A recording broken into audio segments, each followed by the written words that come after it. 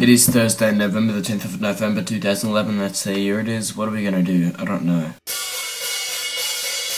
Mmm, beautiful. Never tell us to put up chairs. Wait, bag of water. Is that a good explanation? That's a great explanation, thank you. Try again. This is a good Do it again. Keep doing it until it works. I don't care. Hit it really hard. Now I can just go for it. Oh, fuck. Went all over me.